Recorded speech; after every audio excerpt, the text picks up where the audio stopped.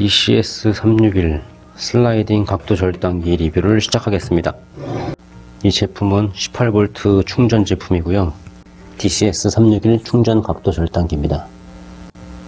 분당 회전수는 3750rpm, 절삭 깊이는 50mm, 날은 184mm, 7과 4분의 1인치 날을 사용하고 이 제공되는 날이 1.6T에 팁수는 60팁입니다. 작동 방식은 가장 많이 사용하는 10인치 각도 절단기와 거의 유사합니다. 크기가 조금 작은 것 빼고는 거의 유사합니다. 슬라이딩 방식, 이 레버 방식, 각도 조절하는 방식 모두 비슷합니다. miter 각도는 오른쪽으로 48도, 왼쪽으로 48도까지 되고요. bevel은 왼쪽으로만 넘어가는 방식입니다. 45도까지 조정이 되고요. 더 넘기고 싶다 하면 여기 있는 볼트를 조절해주면 48도까지 눈금은 48도까지 되어 있습니다. 그리고 이 오른쪽을 조절하면 오른쪽으로도 약 3도까지는 넘길 수 있는 걸로 생각이 됩니다. 목조주택 시공하시는 분들은 이 제품을 메인으로는 사용할 수는 없고요. 보조 용도로, 서브 용도로는 사용할 수 있을 것 같습니다. 메인으로 사용할 수 없는 이유가 이 날이 7과 4분의 1인치 날을 사용하기 때문에 3인치를 절단을 할 수가 없습니다. 높이가 3인치를 절단할 수 없는 높이이기 때문에 슬라이딩 길이도 약 215mm 그 정도 되기 때문에 2x8까지만 절단이 되고 2x10이나 12는 절단을 할 수 없습니다. 그렇기 때문에 메인으로 사용하기는 약간 곤란하고요.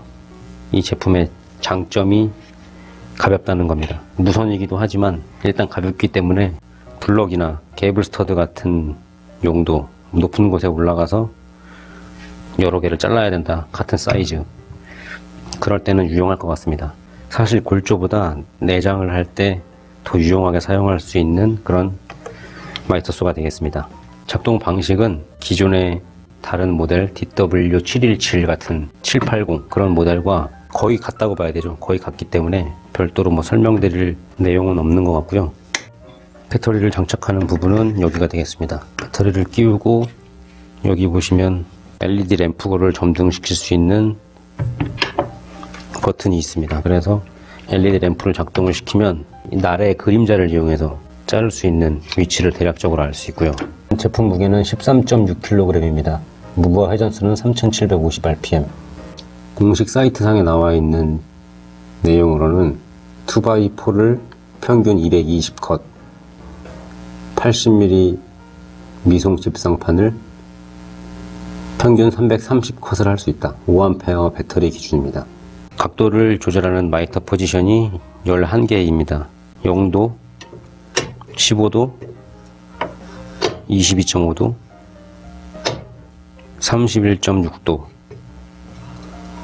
그리고 45도 10인치 제품과의 차이점은 여기에 높이를 조절하는 여기 볼트가 달려 있었는데 그 볼트를 볼트는 없고요 10인치 그 제품은 베벨 넘기는 이 베벨이 양쪽으로 조정이 되는데 얘는 한쪽으로 밖에 되지 않는다는 거 그 정도 차이가 있는 것 같습니다 날의 내경 지름은 19mm입니다 7과 4분의 1 원, 원형 톱 내경과 동일합니다.